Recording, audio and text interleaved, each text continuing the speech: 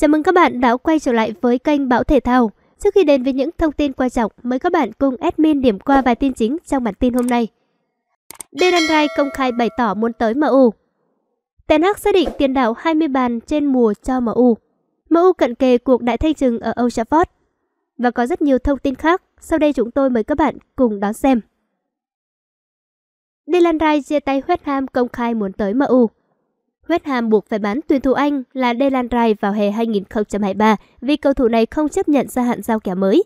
Trong một tuyên bố hôm nay, David Moy băng gió nói đến khả năng ra đi của Delan Rice sau khi cho biết cậu học trò của ông muốn tìm kiếm thử thách ở một đội bóng lớn hơn West Ham.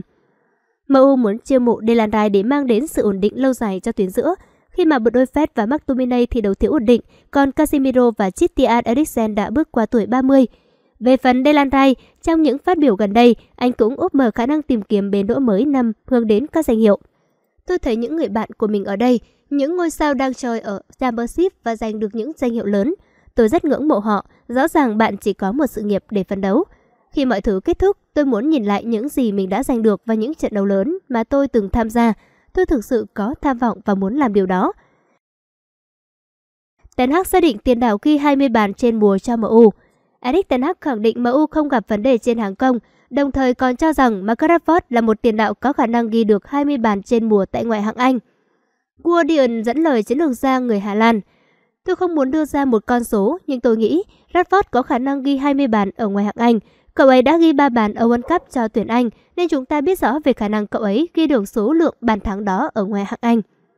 Chúng tôi biết mình đã mất đi một tiền đạo nên cần phải bổ sung thêm một người khác nhưng cầu thủ đó phải là người phù hợp để mang đến chất lượng cho đội chứ không chỉ đơn giản là bổ sung vào đội hình. Các tiêu chí ở MU là rất cao.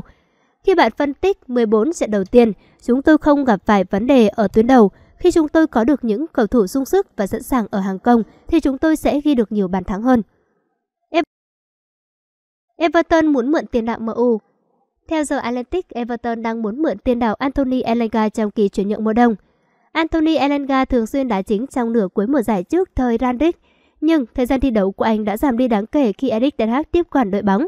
Mùa này, Anthony Elanga chơi chưa đầy 500 phút trong 14 lần ra sân. Một thỏa thuận tạm thời với Everton sẽ mang lại rất nhiều lợi ích cho Elanga.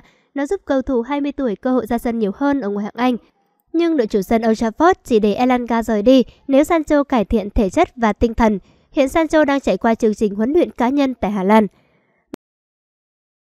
Arsenal tham gia cuộc đua Javelit với MU. Được biết là Quỷ Đỏ đang chuẩn bị ngồi vào bàn đàm phán với siêu cò Jogan Mendes về thương vụ chuyển nhượng Javelit. Tuy nhiên, theo tờ Watt tiết lộ, thì Arsenal cũng đã có được những động thái tham gia vào thương vụ này cũng như là sẵn sàng đối thoại với đại diện của tuyển thủ Bồ Đào Nha nếu có cơ hội. Ten Hag nói thẳng mục tiêu tại ngoại hạng Anh của MU. Mới đây trong buổi họp báo, Erik ten Hag đã có những chia sẻ về mục tiêu của MU trong giai đoạn 2, đặc biệt là khả năng vô địch ngoại hạng Anh. Erik ten Hag đã tiết lộ MU chỉ sẽ hướng đến mục tiêu top 4 trong mùa giải này. Giống như huấn luyện viên của Chelsea hay Newcastle, tôi hiểu rằng câu lạc bộ phải có được thành tích vào cuối mùa giải. Chúng tôi chỉ muốn hướng đến top 4 để có vé tham dự C1 và chiến đấu cho các danh hiệu. Đó là mục tiêu của chúng tôi, chỉ vậy thôi. Thành tích vào cuối mùa giải sẽ ảnh hưởng trực tiếp tới phiên chợ hè 2023 của Quỷ Đỏ. Đó sẽ là thời điểm vàng cho Ten Hag có cuộc cách mạng lớn trong đội hình. Một vị trí trong top 4 ngoại hạng Anh và danh hiệu Europa League hoặc Carabao Cup sẽ đánh dấu một mùa giải đầy rực rỡ cho MU. Quyết định sáng suốt của MU với Capo Vừa qua Liverpool đã chính thức hoàn tất thương vụ Cody Gapo một cách đầy chóng vánh. Tuy nhiên, điều đó không đồng nghĩa với việc MU đã bị Liverpool đánh bại trong cuộc đua giành chữ ký của Gapo. Theo tiết lộ từ ký giả Howard Lucy, MU thực tế chưa bao giờ đánh giá Gapo là một mục tiêu chuyển nhượng quan trọng của mình. Thậm chí bộ phận tuyển trạch của Quỷ Đỏ đã không cảm thấy quá ấn tượng với sự phát triển đến từ chân sút người Hà Lan. Vì vậy, về cơ bản thì có thể khẳng định rằng đội chủ sân Old Trafford chưa bao giờ thực sự tham gia vào cuộc đua giành chữ ký của Gapo. Dễ dàng tìm thấy những thông tin từ Fabrizio Romano hay Laurie Whitwell cho thấy MU có quan tâm đến Gapo, nhưng rõ ràng chưa có bất kỳ ký giả uy tín nào xác nhận rằng Quỷ Đỏ đã gửi một lời đề nghị chính thức đến PSV để có thể chiêu mộ Gapo. Thế nên, có thể nói rằng đội chủ sân Old Trafford đã quyết định không giúp sức với ngôi sao người Hà Lan và đây thực sự là một quyết định hoàn toàn sáng suốt.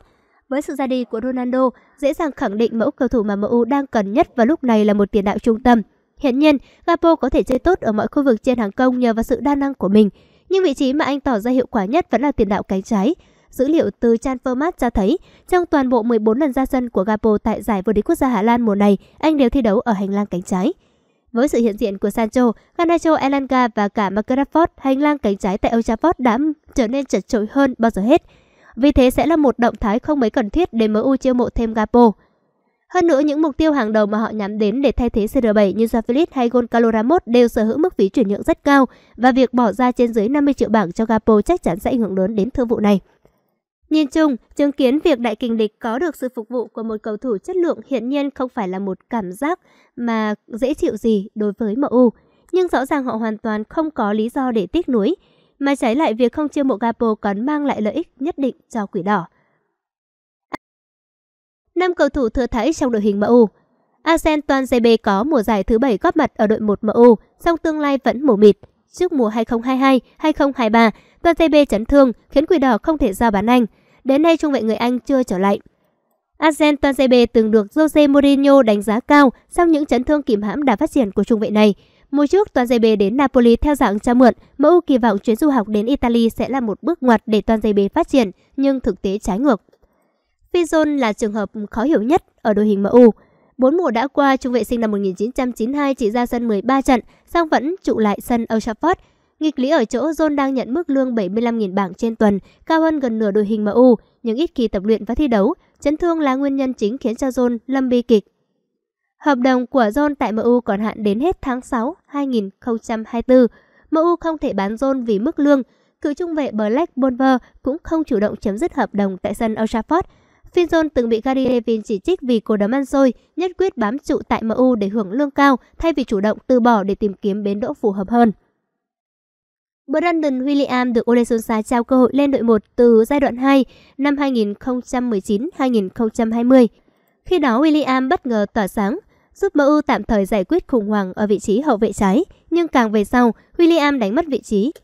Khi Ole Solskjaer rời MU, William bị đánh bật hoàn toàn, Hè này William trở lại MU sau một năm được cho mượn ở Norwich. Anh là sự lựa chọn số 3 ở vị trí hậu vệ trái MU sau Luxor và Tireo Malaysia. Ở biên phải, William xếp sau Diogo Dalot và Ronwan Bissaka. Quỷ đỏ đang giao bán William với giá khoảng 10 triệu bảng. Donny van der Beek vẫn mất hút ở đội hình MU dù làm việc cùng thầy trò Erik Ten Hag. Tại ngoại hạng Anh mùa này, tuyển thủ Hà Lan chỉ ra sân 4 trận, 3 trong số đó từ ghế dự bị.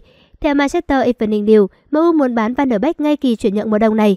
Gia nhập MU là bước lùi cho sự nghiệp của Van der Beek. Anh bị loại khỏi đội hình tuyển Hà Lan dự World Cup.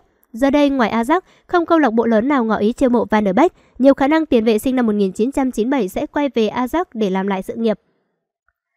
Facundo Pellegrini gia nhập MU từ hè 2020 nhưng chưa được ra sân trận nào. Bất chấp điều đó, anh vẫn được triệu tập lên tuyển Uruguay, thậm chí có suất đá chính tại World Cup.